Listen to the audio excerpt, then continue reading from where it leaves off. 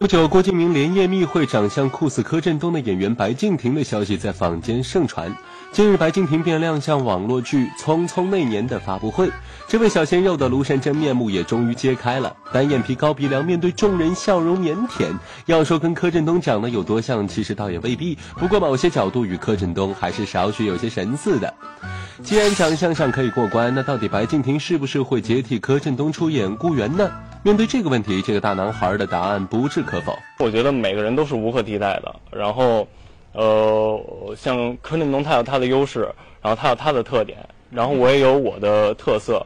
呃，然后我觉得我尊重他，也尊重我，所以我希望还是坚持做我自己。那如果真的有机会让你接顾源这个角色，你会替代他吗？嗯，这个现在我我还没有考虑过。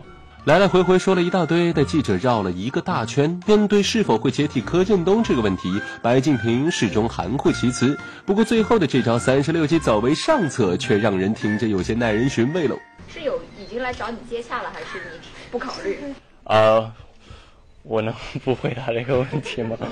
不论是有还是没有，其实给出个确定的答案并不难。如此这番打太极，不是另有隐情暂时保密，那就是一出还没有落幕的炒作了。娱乐新天地上海采访报道。